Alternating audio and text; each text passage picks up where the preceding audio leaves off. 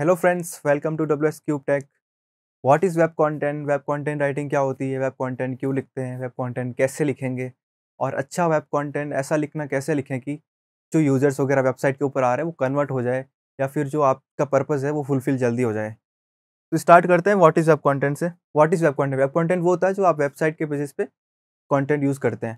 जैसे कि आप होम पेज पे कंटेंट यूज़ कर लिया आपने अबाउट अस के पेज पे कंटेंट हो गया, आपने ब्रांड स्टोरी बता दी और सर्विसेज़ के अलग अलग पेज बताते हैं वहाँ पे सर्विसेज़ के बारे में बता दिया। तो वहाँ पे जो सब जो कंटेंट यूज़ हो रहा है, वो होता है वेब कंटेंट वेब कंटेंट का रोल क्या है? इंपॉर्टेंस क्या है? तो पहला, जो इम्पोर्टेंस है, वो आपको इन्फॉर्मेशन देने के लिए। जैसे कि आप सर्विसेज़ के पेज, समझ लीजिए कि आप आईआईटी कोचिंग की एक वेबसाइट बना रहे हैं। वेबसाइट के लिए कंटेंट लिख रहे हैं। तो उस वेब पेज पे आपको बताएँगे इन्फॉर्म करेंगे कि हमारी ये आई की वेबसाइट का वेबसाइट है। हमारी ये कोचिंग है ऑनलाइन कोर्स वगैरह जो है ऑफलाइन कोर्स है जो भी है, आप इन्फॉर्म करेंगे उनको। दूसरा ऑप्टिमल वेबसाइट फॉर एस जिस वेबसाइट को आपको रैंक कराना है गूगल के ऊपर तो आप उस हिसाब से कंटेंट लिखेंगे। समझ लीजिए आपने आईआईटी कोचिंग इन दिल्ली तो कीवर्ड्स वगैरह आपको कैसे यूज़ करना है तो उस कीवर्ड के लिए वेबसाइट को ऑप्टिमाइज करना है तो वो जो कीवर्ड्स वगैरह होंगे, वो वेब कंटेंट के अंदर ही यूज़ होंगे। देन रीच पोटेंशियल कस्टमर्स अच्छा ऐसे कर दिया वेबसाइट के ऊपर कस्टमर्स वगैरह रीच कर लिया आपने गूगल के थ्रू या फिर दूसरे सर्च इंजन के थ्रू तो वहाँ तक आप कस्टमर तक पहुँच गए। Then generate leads. जो वेबसाइट के ऊपर जो कस्टमर आए, वो उनको, जैसे कि उन्होंने उन्होंने आपकी कोर्स के लिए साइन अप कर लिया या फिर आपको कॉल कर लिया कोई इंक्वायरी के लिए तो लीड जनरेशन होगी और आपको कस्टमर्स मिल गए। तो ये वेब कंटेंट के बेनिफिट्स हैं और रूल है इंपॉर्टेंस है कि क्यों वेब कंटेंट लिखा जाता है। Then how to write web content how to write web content web content अच्छा वेब कंटेंट कैसे लिखेंगे, स्टेप बाय स्टेप प्रोसेस हम देख लेते हैं। स्टार्ट करेंगे पर्पज से। आप जो कंटेंट लिख रहे हैं, कोई भी पेज के लिए लिख रहे हैं आपको पर्पज़ पता होना पता होना चाहिए कि ये कंटेंट क्यों लिख रहे हैं? फॉर एग्जांपल आप आईआईटी कोचिंग का एक ऑनलाइन कोर्स का पेज है तो आपको पता होना चाहिए कि ये किसके लिए है और क्यों लिख रहे हैं आप? वो सब पर्पज़ पता होने के बाद फिर आप ऑडियंस को समझेंगे। जैसे समझिए कि हर बिज़नेस की अलग ऑडियंस होती है और उनका अलग लेवल होता है। समझिए एज एज लेवल भी सबका अलग होता है। फॉर एग्ज़ाम्पल आई कोचिंग की वेबसाइट है तो उनकी टेंथ इलेवन ट्वेल्थ वाले स्टूडेंट्स होते हैं, वो होते हैं ऑडियंस कोई बिज़नेस की वेबसाइट है तो दूसरा होते हैं। कोई बिज़नेस टू बिज़नेस की होगी तो उनकी अलग तो ये अंडरस्टैंड ऑडियंस करना इसलिए ज़रूरी है कि आप उस जिस ऑडियंस है उसके अकॉर्डिंग आप टोन एंड पिच को यूज़ करेंगे कंटेंट के अंदर। देन कंप्यूटर रिसर्च आपकी जो टॉप कॉम्पिटिटर्स है मार्केट में उनको उनकी वेबसाइट्स देखिए उन्होंने क्या किया है? उन उन्होंने क्या स्ट्रेटेजी फॉलो की है? उन्होंने किस टाइप का कंटेंट लिखा है? एक बार कुछ आइडिया ले लीजिए और उन उनसे अच्छा कंटेंट लिखने की कोशिश करेंगे। Then plan and structure plan the content structure and outline जो आपने देख लिया अंडरस्टैंड कर लिया ऑडियंस को पर्पज़ पता कर लिया, रिसर्च भी कर लिया कॉम्पिटिशन की तो अब एक स्ट्रक्चर रेडी कर लीजिए। समझ लीजिए कि आप हेडर पार्ट में आप क्या इंक्लूड करेंगे देन आप सर्विस के बारे में बताएँगे सर्विस के बेनिफिट्स बताएँगे, फिर आप फीचर्स बताएँगे, फिर आप कोई एफ़ वगैरह इंक्लूड करने हैं टेस्टिमोनियल्स इंक्लूड करना है केस स्टडीज़ इंक्लूड करनी है तो एक स्ट्रक्चर रेडी कर लीजिए। स्ट्रक्चर रेडी करने के बाद हर स्ट्रक्चर पे कॉन्टेंट लिखना शुरू करिए। स्टेप बाय स्टेप आप हर उसको यूज़ करिए then proofread and edit content सारा लिख लिया, आप उसको फिर दो तीन बार अच्छे से प्रूफ रीड कर लिए, कोई एरर्स वगैरह दिख जाते हैं, समझ लीजिए आपने कोई एक्स्ट्रा कोमा यूज़ कर लिया, फिर कोमा यूज़ करना मिस कर दिया, या फिर फुल स्टॉप कहीं पे यूज़ नहीं किया, या फिर ये सब चीज़ें, कोई मिस्टेक रह गई हो तो उसको अवॉइड कर लीजिए। फिर एडिटिंग में आप देख लीजिए कोई ग्रामर वगैरह रह गई है, या फिर कोई सेंटेंस ऐसा लगा आपको कि ये थोड़ा इफ़ेक्टिव नहीं है, इसको मैं और अच्छा लिख सकता हूँ तो वो एडिटिंग वाला पार्ट कवर कर लीजिए, कोई सेंटेंस ऐसा लग रहा है अननेसेसरी है इसलिए और कुछ अच्छा लिख सकता हूँ। तो एडिटिंग करके फिर आप लास्ट प्रोसेस पाएँगे प्लेजिज्म चेक पे। इसका मतलब ये होता है कि आपका जो वेबसाइट पे जो कंटेंट आपने लिखा है, वो कहीं से मैच तो नहीं कर रहा, डुप्लीकेट कंटेंट तो नहीं है, कहीं और वेबसाइट से कॉपी किया हुआ तो नहीं है। तो ऐसा हो जाता है हमेशा कि आप कोई सेंटेंस या कुछ वर्ड्स लिख रहे हैं, वो कहीं वेबसाइट से ऑलरेडी कहीं लिखे हुए हैं। तो पहले कुछ टूल्स आते हैं प्लेजिम चेक के लिए, उनमें जाके अपना वेबसाइट कंटेंट जो आपने यहाँ से कॉपी करना है, वहाँ पेस्ट करना है और चेक करना है कि वो यूनिक है कि नहीं है। तो यूनिक होने के बाद ही आपको प्रोसीड करना है। अगर कुछ शो कर रहा है कि ये कॉपी कंटेंट है उसको आपको चेंज करना है रीराइट करना है, ताकि वो प्लेजेंट फ्री हो जाए। देन कुछ राइटिंग की वेब कंटेंट राइटिंग की इंपॉर्टेंट टिप्स देख लेते हैं। Lead the users to act जो आपकी वेबसाइट पे ऑडियंस आ रही है, उनको कुछ एक्शन लेने के लिए आपको परसुएट करना है। फॉर एग्जांपल आईआईटी कोचिंग के स्टूडेंट्स आपकी वेबसाइट पे आ गए।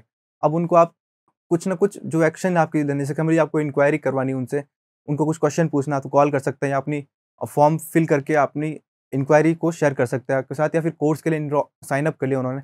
तो ऐसी चीज़ें करवाने के लिए उनको आपको परसुएट करना है कंटेंट के through then use bullet points and formatting bullet point से क्या होता है कि आपका जो कंटेंट है, उसकी रीडेबिलिटी इंप्रूव हो जाती है। फॉर एग्ज़ाम्पल एक एक बेनिफिट्स आप दिखा के बेनिफिट्स ऑफ़ आवर सर्विसेज़ तो सात बेनिफिट दिखाने आपको।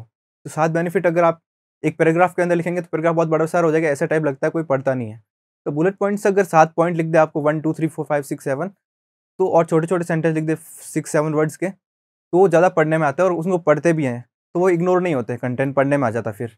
देन शॉर्ट सेंटेंस लिखना है। जो सेंटेंस लिख रहे हैं, वो छोटे छोटे लिखने हैं। बड़े बड़े आप बीस तीस वर्ड के सेंटेंसेज आपको नहीं लिखने। कोई नहीं पढ़ता उनको फिर। और पढ़ते तो ये बहुत ही बोरिंग सा कंटेंट बन जाता फिर। वीक वर्ड्स होते हैं, वो उनको अवॉइड करना है आपको। जैसे कि ऐसे वर्ड्स अवॉइड अवॉइड करने जिनसे आप खुद यूज़र्स को कन्विंस करने में दिक्कत होती है। फॉर एग्ज़ाम्पल जैसे आपने लिख दिया कि I think our services will help you grow your business तो उनको लगता है कि उनको खुद श्योर है नहीं श्योर नहीं है कि उनकी सर्विसेज़ हमको हेल्प करने में ग्रो करने में हेल्प करेगी कि नहीं करेगी। तो ऐसी चीज़ें अवॉइड करना आपको weak words concise and clear रहना आपको कंटेंट के पूरा छोटा छोटे जो सेंटेंस लिख रहे हैं उनमें भी आपको ऐसा नहीं कि अननेसेसरी इन्फॉर्मेशन आपने यूज़ कर इंक्लूड कर ली। आपको जो भी आपका मैसेज है इन्फॉर्मेशन देनी है, वो क्लियरली दीजिए। देन कीवर्ड्स एस के लिए सबसे बड़ा इंपॉर्टेंस है कीवर्ड्स का। आपको जो एस टीम दे रही है, चाहे क्लाइंट दे रहा है, चाहे आप खुद अपनी वेबसाइट पे वर्क कर रहे हैं तो कीवर्ड रिसर्च करने के बाद उनको कैसे स्ट्रेटेजिकली यूज़ करना है, वो देख लीजिए। जैसे कुछ कीवर्ड्स को आप समझ लीजिए हेडिंग्स में यूज़ करेंगे, कुछ को आप वेब कंटेंट के अंदर जो पैराग्राफ्स लिख रहे हैं, वहाँ पे यूज़ करेंगे तो वो यूज़ करिए एस के लिए अच्छा होता है। देन एक्टिव वॉइस ज़्यादा यूज़ करनी है आपको। एक्टिव वॉइस और पैसिव वॉइस दो चीज़ें होती हैं इंग्लिश में तो एक्टिव वॉइस ज़्यादा यूज़ करने से होता है कि इम्पैक्टफुल कॉन्टेंट आप क्रिएट कर पाते हैं। जैसे कि कोई सेंटेंस है कि our services will help you grow your business तो इसमें फोकस है वो आर सर्विसेज़ पे है। और इसको पैसिव वॉइस में अगर आप लिखेंगे तो your business will be grown grown by our services तो आर सर्विसेज़ जो है फोकस से नहीं चला गया लास्ट वर्ड में आ रहा है।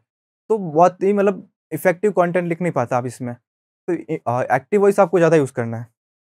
और लास्ट में हम डिस्कस कर लेते हैं कुछ प्रोफेशनल राइटिंग टिप्स जो कि हर कोई, हर वेबसाइट यूज़ नहीं करती। अगर ये यूज़ करेंगे आप तो आप उनको जल्दी आउटरैंक कर सकते हैं और उनसे अच्छा कंटेंट क्रिएट कर सकते हैं। तो फ़र्स्ट है inverted pyramid approach inverted pyramid approach में क्या होता है कि एक पिरामिड फॉर्म में स्ट्रक्चर आप रेडी कर लेते हैं कि आपको सबसे टॉप में जो इन्फॉर्मेशन वो इंक्लूड करेंगे, वो होती है जो मोस्ट एसेंशियल इन्फॉर्मेशन आपकी, वो ऐसी इन्फॉर्मेशन जो कि मतलब यूज़र अगर एक ऊपर का पैराग्राफ भी आप ऊपर का सेक्शन भी अगर देखकर चला जाए तो उसको पता चल जाए कि उनका वेब पेज पर उन्होंने क्या देखा, कोई क्या सर्विस थी, मेरे लिए क्या था तो उनको वो पता चल जाए। फिर सेकेंड आपको जो सेकेंड प्राइमरी इंफॉर्मेशन है जो कि अगर यूज़र पढ़े तो बहुत वैल्यू मिलेगी, लेकिन नहीं पढ़े तो भी ठीक है।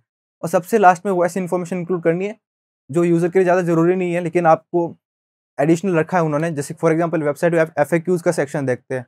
जनरली सेक्शन को यूज़र नहीं पढ़ता, लेकिन फिर भी रखते हैं कि अगर किसी को रिक्वायरमेंट पड़ गई तो वहाँ पे उनको आंसर मिल जाएगा वहाँ पर। Then include proof don't show don't tell मतलब आपको प्रूफ इंक्लूड करना है कि समझ लीजिए आई कोच कोर्स दे रहे हैं आप ऑनलाइन तो उनको आप दिखाइए कि हमारा कोर्स ऐसा आपको बता रहे हैं कि ऐसा हो जाएगा, वैसा हो जाएगा, लेकिन आप उनको अगर दिखाएँ, जैसे कि आपने से दिखा दिया कि हमारे लास्ट ईयर का ये कोर्स लेके चार लड़कों ने या फिर चार स्टूडेंट्स ने आईटी एग्ज़ाम क्रैक कर लिया तो उनको प्रूफ दिया था, उनकी रैंकिंग दिखा दो कि फोर्थ और फिफ्थ रैंक पे स्टूडेंट्स आ गए थे। तो आप प्रूफ दिखाने से क्या होता है कि जल्दी वो क्रेडिबल बिल्ड कर पाते हैं आप।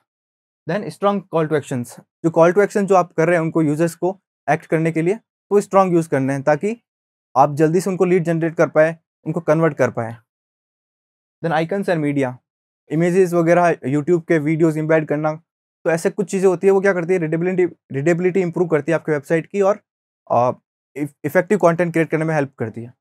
Then focus on benefits over features generally क्या होता है कि कोई भी वेबसाइट क्रिएट करता है तो अपने सर्विसेज़ वगैरह के बेनिफिट्स दिखाने लग जाता है कि, समझ लीजिए कोई ऑनलाइन कोर्स दे रहा तो बोलते हैं उसमें कि हाई क्वालिटी कोर्स है आपको पीडीएफ मिलेगी ई बुक्स मिलेगी।